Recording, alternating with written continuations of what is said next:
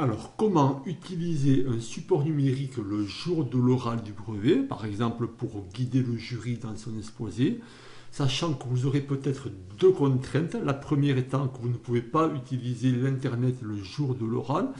Et la deuxième contrainte pourrait être liée à l'utilisation d'un logiciel de diaporama que vous avez utilisé chez vous personnellement, mais qui n'est pas compatible avec les logiciels installés sur les ordinateurs du collège.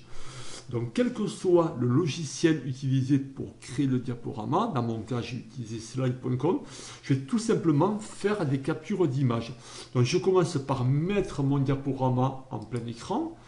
Je vais lancer l'outil capture. Donc, sous Windows, je peux aller dans Windows, Programme, Accessoires, Outils capture, ou directement dans la barre de recherche de Windows.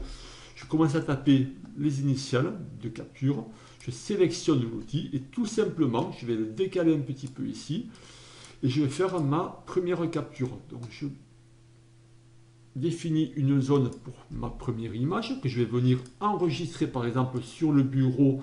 Je crée un dossier qui va s'appeler Oral DND et tout simplement dans ce dossier, vous renommez la première capture 1 vous allez à ce moment-là réduire l'outil capture, vous changez de page, vous reprenez l'outil capture pour faire une nouvelle acquisition.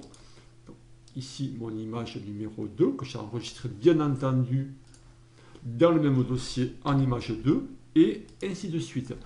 Une fois que toutes mes captures seront créées, il me suffit de passer, de transposer ce dossier sur ma clé USB.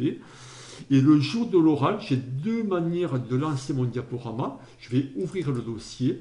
Je peux faire un clic droit, commencer par un aperçu. Je peux également venir sur ouvrir ici avec et je prends la galerie photo. À ce moment-là, il me suffira d'utiliser des flèches droite ou gauche pour aller d'une page à l'autre. Donc, solution très simple et universelle, quel que soit le logiciel utilisé. Voilà, bon, bon travail et bon, bon oral.